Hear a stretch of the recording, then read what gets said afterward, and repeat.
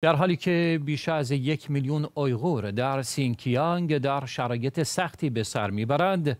دو وبلاگ نویس بریتانیایی با محتوای چاپلوسانه جهت خوشایند دولت مردان چین به توجیه وضعیت این منطقه پرداخته و روایت های خلاف واقع دولت چین را بازگویی می کنند.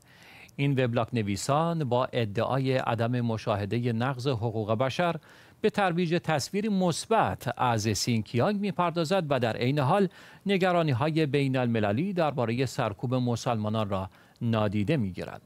همکارم در گزارش خود این موضوع را روایت نموده که با هم می‌بینیم.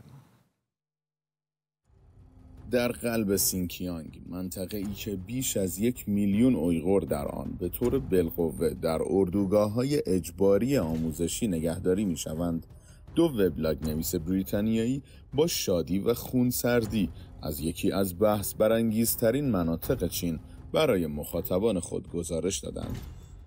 این وبلاگ نویسان با تأکید بر اینکه هیچ نقض حقوق بشری را مشاهده نکرده اند به نوعی روایت دولت چین را که مدعی است هیچ مشکلی در این منطقه وجود ندارد بازگویی کردند. در حالی که خبرنگاران خارجی تحت فشار و نظارت شدید هستند این وبلاگ نویسان از استقبال گرم دولت چین برخوردار شده و محتوای چاپلوسانه آنها برای توجیه روایت های دولت چین و خوشایند دولت مردان چینی مورد استفاده قرار گرفته است.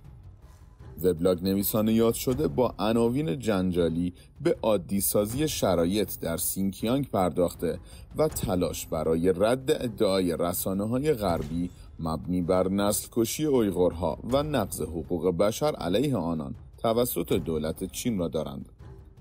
با افزایش تعداد گردشگران خارجی و تسهیل سیاست های ویزا از سوی چین این وبلاگ نویسان به دنبال جذب مخاطبان بیشتری هستند. اما تحلیلگران حقوق بشر هشدار دادند که این نوع گزارش های خلاف واقع که احتمالاً با پرداخت رشوه و هدایای گران قیمتی از سوی دولت چین نوشته می شود ممکن است به مشروعیت بخشی نقض حقوق بشر در این منطقه منجر شود.